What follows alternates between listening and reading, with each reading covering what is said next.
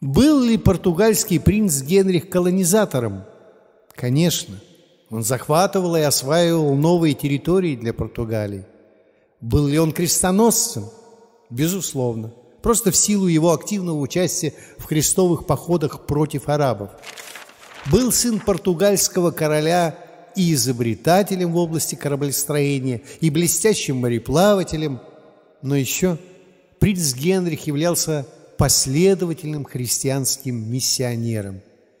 Распространение веры Христовой в Африке – одно из целеполаганий этого исторического деятеля. Несмотря на огромные богатства, Генрих мореплаватель вел весьма скромный образ жизни. Никогда не был женат, а в конце жизни много времени уделял богословским наукам. С 1457 года Генрих стал печатать монеты, золотые крузадо. Круз по-португальски значит «крест». Он и был изображен на одной из сторон монеты. Именно с открытия этого христианского деятеля началось мировое могущество Португалии на последующие пару веков.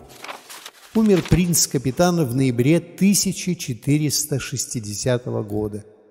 На берегу реки Тежу в Лиссабоне, месте, откуда отправлялись христианские миссионеры в языческую Африку, в 1960 году был воздвигнут величественный монументальный ансамбль.